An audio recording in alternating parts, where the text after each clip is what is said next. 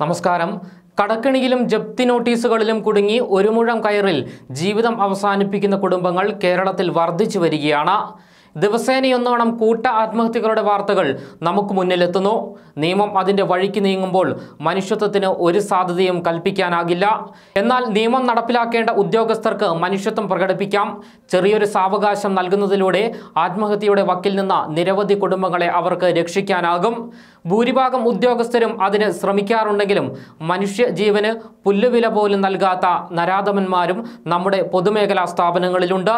K S F E Kottiyam ശാഖയിലെ ചില ഉദ്യോഗസ്ഥർ നടത്തിയ തിരിമറി കാരണം ജീവിതം വഴിമുട്ടി ആത്മഹത്യയല്ലാതെ മറ്റൊരു മാർഗവുമില്ലാതെ നിൽക്കുകയാണ് കൊട്ടിയം പുല്ലുച്ചിറയിൽ രാധാകൃഷ്ണൻ പ്രവീണ ദമ്പതികളും മകനുമടങ്ങുന്ന കുടുംബം. മുഖ്യമന്ത്രിയുടെ ഓഫീസ് നേരിട്ട് ഇടപെട്ടിട്ടും സത്യാവസ്ഥ പുറത്തറിയിക്കാൻ മടിക്കുകയാണ്. K S F E Kollam ജില്ലാ കലക്ടറുടെ നേരിട്ടുള്ള ഉത്തരവ് പൂഴ്ത്തിവെച്ച് അന്വേഷണം അട്ടിമറിക്കാനാണ് ഉദ്യോഗസ്ഥർ ശ്രമിക്കുന്നത്. പ്രവീണ എന്നാണ്. ഞാൻ മയ്യനാട് ആലമ്പുഴ എന്ന് പറയുന്ന സ്ഥലത്ത് താമസിക്കുകയാണ്. രണ്ടായിരത്തി പതിനൊന്ന് രണ്ടായിരത്തി പത്തിലും പതിനൊന്നിലുമായിട്ട് ഞാൻ K S F E Kottiyam ശാഖയിൽ ചിട്ടികൾ ചേർന്നിട്ടുണ്ടായിരുന്നു. അപ്പോൾ ഞാൻ എന്റെ സ്വന്തം പേരിലുള്ള ചിട്ടികൾ പിടിച്ചപ്പോഴത്തേക്ക് എന്റെ പ്രമാണം ഞാൻ K S F E Kottiyam ശാഖയിൽ ഏൽപ്പിച്ചിരുന്നു. ആ പത്ത് സെന്റ് പുരയിടവും ഒരു വീടുമാണുള്ളത് ഭർത്താവ് ഒരു പ്രവാസിയായിരുന്നു ഒരു വൃക്കരോഗിയുമാണ്. ഒരു വൃക്ക നീക്കം ചെയ്യുകയും അടുത്ത വൃക്കയ്ക്കും സുഖമില്ലാതെയൊക്കെ ഇരിക്കുന്ന ഒരു വ്യക്തിയാണ്. അപ്പോൾ ഞങ്ങളെ പ്രമാണം അവിടെ ഇരുന്നപ്പോഴത്തേക്ക് അതിനകത്ത് മറ്റൊരാളിന്റെ ചിട്ടികൾക്കും കൂടി കൊട്ടിയം കെ എസ് എഫിൽ ഇരുന്ന ഉദ്യോഗസ്ഥരും തേപ്പാൻ മൈൻ ഇവിടെ മൈനാട് തന്നെയുള്ള ആലമൂട് താമസിക്കുന്ന തേപ്പാന്തറ വീട്ടിൽ കുഞ്ഞുമോൻ എന്ന് പറയുന്ന ആളിന്റെ ചിട്ടിയേക്ക് രണ്ടായിരത്തി പന്ത്രണ്ടിലും രണ്ടായിരത്തി പതിമൂന്നിലുമായിട്ട് കൊട്ടിയം മയ്യനാട് ശാഖകളിൽ വെച്ച് ഇവർ ഈ ഉദ്യോഗസ്ഥരും ഈ കുഞ്ഞുമോനും ചേർന്ന് എന്റെ പ്രമാണത്തിൽ തട്ടിപ്പ് നടത്തുകയുണ്ടായി ചിട്ടി തട്ടിപ്പ് ജാമ്യ ചിട്ടി തട്ടിപ്പ് നടത്തുകയുണ്ടായി. അങ്ങനെ അതിൽ ഇയാൾ പൈസ തിരികെ അടച്ചില്ല. അങ്ങനെ അവസാനം എന്റെ വസ്തുവിന്മേൽ ഇവർ ലേല ജപ്തി നടപടികളുമായിട്ട് വന്നപ്പോഴാണ് ഞങ്ങൾ ഇവരെ അറിയുന്നത്. അങ്ങനെ അതിനെ പ്രതി പൈസ തിരികെ അടയ്ക്കാൻ പറഞ്ഞപ്പോൾ ഈ ഉദ്യോഗസ്ഥരും ഇയാളും കൂടെ ചേർന്ന് സുപ്രീം കോടതിയിൽ പോയി കേസ് പറഞ്ഞ് തിരികെ നിങ്ങളെ വസ്തു വാങ്ങിച്ചോളാൻ പറഞ്ഞു ഭീഷണിപ്പെടുത്തി. അതിനെ പ്രതി എന്റെ ഭർത്താവ് വിഷം കഴിച്ച് ആത്മഹത്യയ്ക്ക് ശ്രമിക്കുകയുണ്ടായി രണ്ടായിരത്തി പതിനഞ്ചിൽ അങ്ങനെ ഞാൻ അതിനുശേഷം ഞാൻ ഇയാൾക്കെതിരെ കേസുകൾ കൊടുക്കുകയും നിയമപരമായിട്ട് പോവുകയും ചെയ്തു. അപ്പോഴാണ് ഞാൻ കെ എസ് എഫിൽ ഇങ്ങനെ ചെയ്യാനൊക്കത്തില്ല. ഒരാളുടെ പ്രമാണം അയാളുടെ ചിട്ടിക്ക് ഈടായിട്ട് കെ എസ് എഫിൽ ഇരിക്കുമ്പോൾ മറ്റൊരാ വ്യക്തിയുടെ ചിട്ടികൾക്കും കൂടി ആ പ്രമാണത്തിൽ ജാമ്യം കൊടുക്കണമെങ്കിൽ ആ വ്യക്തി വസ്തു ഉടമസ്ഥന്റെ ബ്ലഡ് റിലേഷനിലുള്ള ആളായിരിക്കണം. അതായത് അച്ഛൻ അമ്മ മക്കൾ സഹോദരൻ സഹോദരി എന്നിവർക്ക് മാത്രമേ തുടർ ജാമ്യം കൊടുക്കാൻ പറ്റത്തുള്ളൂ. തേർഡ് പാർട്ടി മോർട്ടീജർ എന്ന് പറഞ്ഞ ഒരു വ്യവസ്ഥയാണത്. അപ്പം അത് ഈ നിയമം ലംഘിച്ച് അന്നിരുന്ന കൊട്ടിയത്തും മൈനായിട്ട് വരുന്ന മാനേജർമാർ ഇയാളുമായിട്ട് ചേർന്ന് എന്റെ പ്രമാണത്തിൽ ചിട്ടി തട്ടിപ്പ് നടത്തിയത് ഞാൻ ഈ സർക്കുലർ എടുക്കുകയും വിവരാവകാശ പ്രകാരം എടുക്കുകയും ഞാൻ ആ സർക്കുലറിന്റെ പകർപ്പ് കൊണ്ടുചെന്ന് കൊല്ലം മുൻ കൊല്ലം ജില്ലാ കളക്ടർ കാർത്തികേയൻ സാറിന് ഒരു പരാതിയായിട്ട് എന്റെ വസ്തുവിൽ അന്യായമായിട്ട് നിയമം ലംഘിച്ച് ദേണക്ക് ഉദ്യോഗസ്ഥരും കുഞ്ഞുമോൻ എന്ന് പറയുന്ന ആളും കൂടെ ചിട്ടിത്തട്ടിപ്പ് നടത്തിയിരിക്കുന്നു. അപ്പോൾ അതിനാൽ എന്റെ വസ്തുവിന്മേൽ ഇവർ കൊണ്ടുവന്ന് ഈ കുഞ്ഞുമോന്റെ അഞ്ച് ചിട്ടികൾക്ക് കൊണ്ടുവന്ന് ഇവർ രണ്ടായിരത്തി പതിനാറിൽ കൊണ്ടുവന്ന് എന്റെ വസ്തുവിൽ അറ്റാച്ച് ചെയ്തിടുകയും ചെയ്തു. ഇപ്പം ഈ അറ്റാച്ചും ജാമ്യവും റദ്ദ് ചെയ്ത് തരണമെന്നും പറഞ്ഞ് ഞാൻ മുൻ കളക്ടർ കാർത്തികൻ സാറിന് ഈ സർക്കുലറും വെച്ച് പരാതി കൊടുക്കുകയും. സാർ സർക്കുലർ പരിശോധിച്ചപ്പോൾ ഈ ജാമ്യം നിയമലംഘനം നടത്തി ചെയ്തേക്കുന്ന ജാമ്യമാണെന്ന് മനസ്സിലായി. സാറൊരു ഉത്തരവ് പുറപ്പെടുവിക്കുകയും ചെയ്തു. അതായത് കുഞ്ഞുമോന്റെ അഞ്ച് ചിട്ടികളുടെയും തുക കുഞ്ഞുമോന്റെ വസ്തുവിൽ നിന്ന് തന്നെ ഈടാക്കണം എന്നുള്ളതായിരുന്നു സാറിട്ട ഉത്തരവ്. ഞാനും എന്റെ ഭർത്താവ് രാധാകൃഷ്ണനും എടുത്ത ചിട്ടികളുടെ തുക മാത്രം എന്റെ വസ്തുവിൽ നിന്ന് ഈടാക്കണം. അഞ്ച് വർഷമായിട്ട് ഞാൻ ഈ ഉത്തരവും പ്രകാരം ഇതുവരെയും കെ എസ് എഫ് എന്റെ വസ്തുവിൽ നിന്ന് കുഞ്ഞുമോന്റെ അറ്റാച്ചും ജാമ്യവും റദ്ദ് ചെയ്ത് തന്നിട്ടുണ്ട്. ഞാൻ അഞ്ച് വർഷമായി ഇതിന്റെ പിറക്കം നിയമപരമായിട്ട് പരാതികളുമായിട്ട് എല്ലാ ഉദ്യോഗസ്ഥർക്കും മന്ത്രിമാർക്കുൾപ്പെടെയുള്ള എല്ലാ ഉദ്യോഗസ്ഥർക്കും കെ എസ് എഫ് എം ഡിക്ക് ഉൾപ്പെടെ ഞാൻ അപേക്ഷകൾ കൊടുത്തിട്ടും എനിക്ക് ഇതുവരെയും എന്റെ വസ്തു നിന്നുള്ള അറ്റാച്ചും ജാമ്യം ഇവർ ഒഴിവാക്കി തരാൻ തയ്യാറാകും ഈ ഒരുപാട് ത്യാഗങ്ങൾ ഞാൻ എന്റെ കുടുംബം അതിനെപ്പറ്റി അനുഭവിക്കേണ്ടിയിരുന്നു എന്റെ എന്റെ ഭർത്താവും എന്റെ മകനും വരെ ഇവരുടെ ഗുണ്ടാക്രമണത്തിൽ നിരന്തരമുള്ള വീട് കയറിയുള്ള ഗുണ്ടാക്രമണത്തിൽ വരെ ഞാൻ രോഗികളായി തീർന്നിരിക്കുകയാണ് മൂന്ന് പേര്. ഞങ്ങൾ സമൂഹത്തിൽ ഞങ്ങൾ സ്വതന്ത്രമായിട്ട് ജീവിക്കാനുള്ള അവസരം വരെ ഇവരും പിന്നെ ഞങ്ങൾക്ക് നഷ്ടപ്പെട്ടു എന്നിട്ട് ഞങ്ങൾ പിന്മാറാതെ നിയമപരമായി മാത്രമാണ് ഇന്ന് വരെ മുന്നോട്ട് പോയിക്കൊണ്ടിരിക്കുന്നത്. എല്ലാ രേഖകളും ഞങ്ങളിൽ തെളിവിന്റെ എല്ലാ രേഖകളും ഉണ്ട്. ഇവ ഇവർ ഇപ്പം ഈ കെ എസ് എഫ് ഉദ്യോഗസ്ഥർ ഇവർ ഇതിൽ നിന്ന് രക്ഷപ്പെടാൻ വേണ്ടി മന്ത്രിമാരെല്ലാം ഇവരെന്റെ പരാതിക്ക് റിപ്പോർട്ട് ചോദിക്കുമ്പോൾ ഇവർ കൊടുക്കുന്ന കള്ള റിപ്പോർട്ടെന്ന് പറഞ്ഞു കഴിഞ്ഞാൽ ഈ കുഞ്ഞുമോൻ എന്ന് പറയുന്ന ആളിന്റെ ഭാര്യ എന്റെ സഹോദരിയാണ് എന്നും ഈ കുഞ്ഞുമോൻ എന്ന് പറയുന്ന ആൾ എന്റെ സഹോദരി ഭർത്താവാണെന്നും പറഞ്ഞ് ഇവർ കള്ള റിപ്പോർട്ട് ഇവർ തന്നെ ഉദ്യോഗസ്ഥർ തന്നെ അവരെ കൈപ്പടയിൽ എഴുതി ഇവർ തന്നെ അങ്ങനെ ഒരു കള്ള റിപ്പോർട്ട് ഉണ്ടാക്കി കൊടുക്കുകയാണ്. അത് ചെയ്യുന്നത് പൊട്ടിയം കെ എസ് എഫിലുള്ള ഉദ്യോഗസ്ഥരാണ്. മയ്യനാട് കെ എസ് എഫിലുള്ള ഉദ്യോഗസ്ഥർ കളക്ടർ സാറിന് കൊടുത്തേക്കുന്ന റിപ്പോർട്ട് പറഞ്ഞിരിക്കുന്നത് ഈ കുഞ്ഞുമോൻ എന്ന് പറയുന്ന വ്യക്തി എന്റെ സഹോദരൻ എന്നാണ്. എന്ന് ഞാൻ എഴുതി കൊടുത്തേക്കുന്ന പറഞ്ഞ് ഇവർ തന്നെ എഴുതി സ്വന്തം കൈപ്പടയിൽ എഴുതി ഇവർ കൊടുത്തിരിക്കുക അപ്പോൾ ഒരു ഹിന്ദു സമുദായത്തിൽ ജനിച്ച ഞാൻ മറ്റൊരു മുസ്ലിം സമുദായത്തിൽ ജനിച്ച കുഞ്ഞുമോന്റെയും കുഞ്ഞുമോന്റെ ഭാര്യയുടെയും സഹോദരി എന്ന് പറഞ്ഞാണ് കൊടുത്തിരിക്കുന്നത്. രണ്ട് ശാഖകളിലായിട്ടുള്ള ഉദ്യോഗസ്ഥർ കൊല്ലം ജില്ലാ കളക്ടർ സാറിന് ഒരേ സമയം കൊടുത്ത റിപ്പോർട്ടിൽ രണ്ട് തരത്തിലാണ് ഇവർ കള്ള റിപ്പോർട്ട് തയ്യാറായി കൊടുത്തിരിക്കുന്നത്. ഒന്നിൽ പറഞ്ഞിരിക്കുന്ന കുഞ്ഞുമോന്റെ ഭാര്യ എന്റെ സഹോദരിയാണെന്നും മറ്റൊരു ബ്രാഞ്ചുകാർ പറഞ്ഞിരുന്ന കുഞ്ഞുമോൻ എന്റെ സഹോദരനാണെന്ന്. എന്നും പറഞ്ഞ് ഇവർ എഴുതി കൊടുത്ത് എന്റെ മതം വരെ മാറ്റി. ആരും ചെയ്യാത്തൊരു പ്രവൃത്തിയാണ്. ഞാനൊരു ഹിന്ദു ഈഴവ സമുദായത്തിൽ പറഞ്ഞ എന്നെ മറ്റൊരു മതത്തിൽപ്പെട്ട ആളിന്റെ സഹോദരനും സഹോദരിയും വരെ ആക്കി ഈ കേസ് എഫ് ഇത്രയും നികൃഷ്ടമായ രീതിയിൽ ഓരോ കള്ളത്തരത്തി രേഖകൾ ചമച്ച് അവർ തന്നെ കൂടിയാലോചിച്ച് എഴുതി തയ്യാറാക്കി അവരെ കൈപ്പടയിൽ തന്നെ എഴുതി തയ്യാറാക്കി. കൊടുത്തിട്ടാണ് ഇപ്പോൾ നിൽക്കുന്നത്. പക്ഷെ അതിനും ഞാൻ വിവരാവകാശം അനുസരിച്ച് ഞാൻ എടുത്തു വെച്ചിട്ടുണ്ട്. കെ എസ് എഫിലാണ് ആദ്യം തട്ടിപ്പ്. കൊട്ടിയം ബ്രാഞ്ചിലാണ് നടന്നിരിക്കുന്നത്. ആ കൊട്ടിയം ബ്രാഞ്ചിലെ മാനേജർ കൊടുത്തിരിക്കുന്നത് കുഞ്ഞുമോന്റെ ഭാര്യ എന്റെ സഹോദരിയാണെന്നും കുഞ്ഞുമോന്റെ എന്റെ സഹോദരിയുടെ ഭർത്താവാണെന്നും പറഞ്ഞാണ് എഴുതി കൊടുത്തത് അതിനെ കണ്ണിക്കാൻ വേണ്ടി തന്നെ അവരുടെ ഉദ്യോഗസ്ഥർ എന്റെ വിവരാവകാശം അനുസരിച്ച് എനിക്ക് തന്നിട്ടുണ്ട്. സഹോദരിയുടെ ഭർത്താവിന് തുടർ ജാമ്യം നൽകുവാൻ സാധിക്കുന്നതല്ല എന്നും. അതിന്റെ വിവരാവകാശത്തിന്റെ പകർപ്പ് അവർ തന്നതിന്റെ പകർപ്പ് എന്റെ കയ്യിൽ തന്നെ ഉണ്ട്. എനിക്ക് വിവരാവകാശത്തിന് മറുപടി എന്റെ തന്നത് എന്റെ കയ്യിൽ തന്നെ ഉണ്ട്.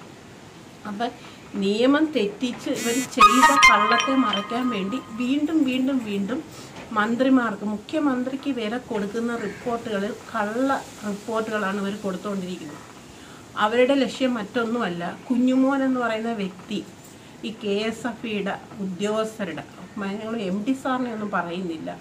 പക്ഷേ ഈ കൊട്ടിയം മയനാട് ബ്രാഞ്ചിലെ ഉദ്യോഗസ്ഥരുടെ ഏറ്റവും വേണ്ടപ്പെട്ട ഒരാളാണ്. ഇയാൾ പലപ്പോഴായി ഇങ്ങനെ ചിട്ടിത്തട്ടിപ്പുകൾ നടത്തിക്കൊണ്ടിരുന്നതും അതിന്റെ ആദായങ്ങൾ ആ ഉദ്യോഗസ്ഥർക്ക് കിട്ടിക്കൊണ്ടിരുന്നതുമാണ്.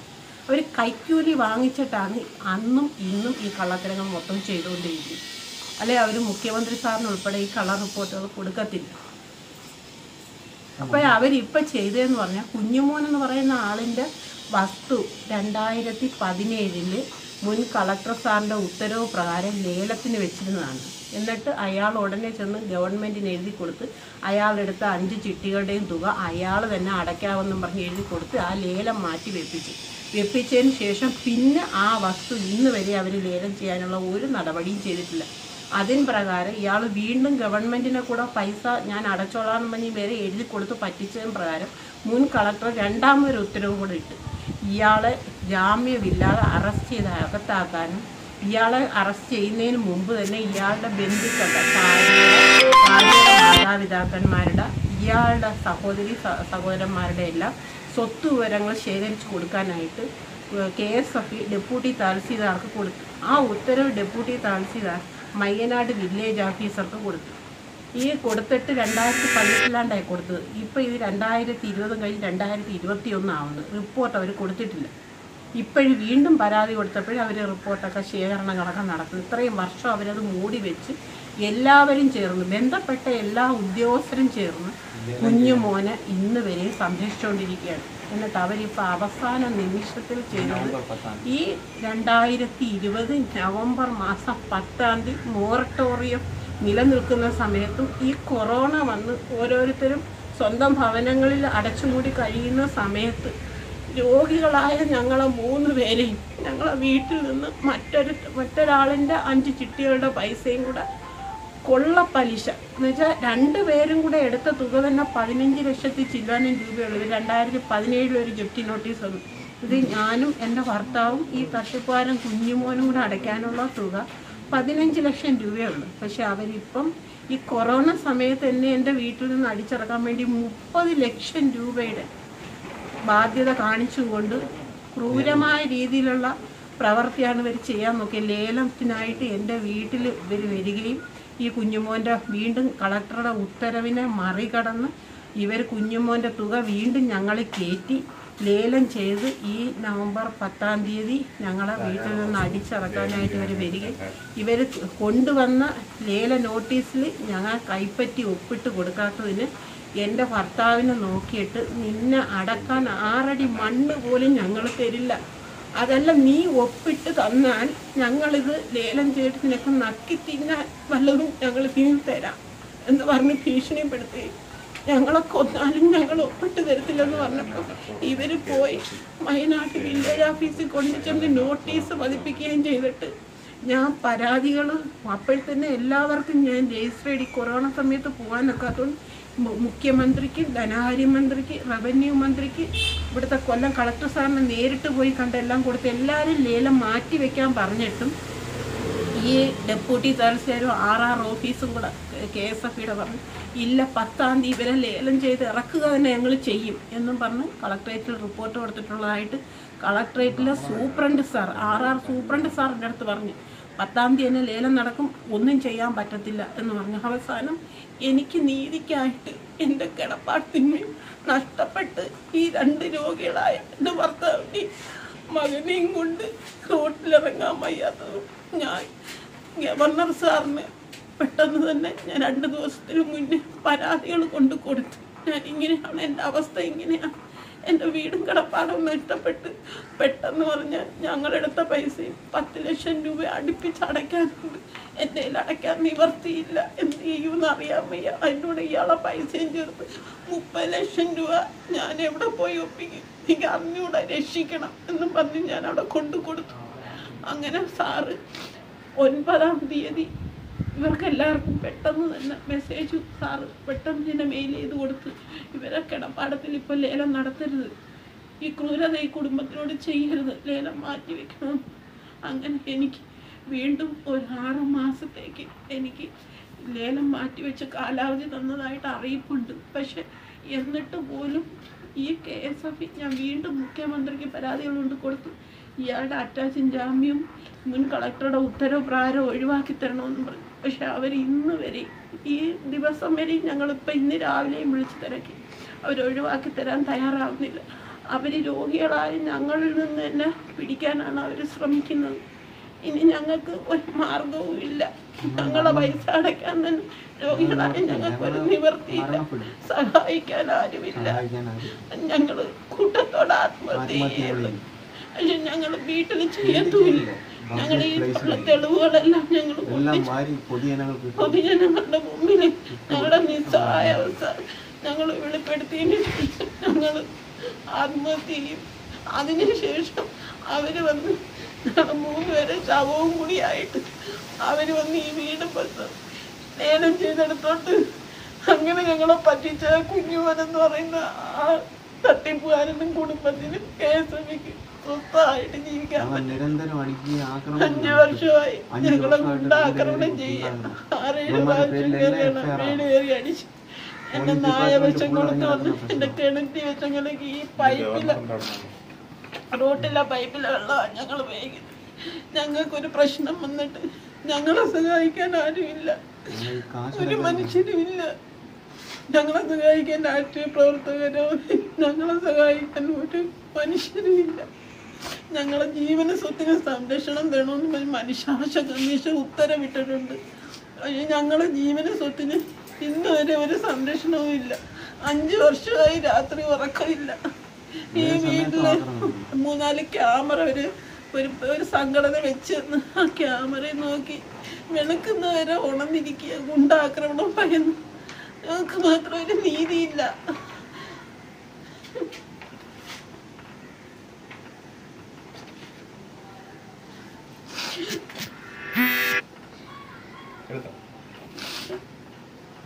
ഞങ്ങൾ അവസാന ശ്രമമായിട്ട് ഞങ്ങൾ ഈ മീഡിയയുടെ മുമ്പ് പറയുകയാണ്.